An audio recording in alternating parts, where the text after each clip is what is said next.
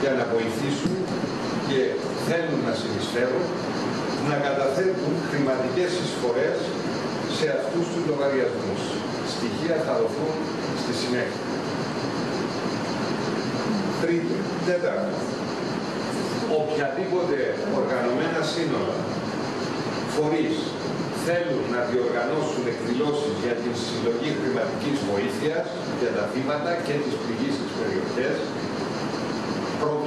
προτρέπονται εφόσον το επιθυμούν να καταθέτουν σε αυτούς τους λογαριασμούς.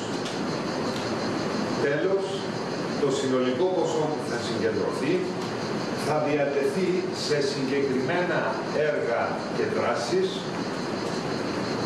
δράσεις για την ανακούφιση των θυμάτων και τη στήριξη μετά από συνεννόηση που θα γίνει με την ελληνική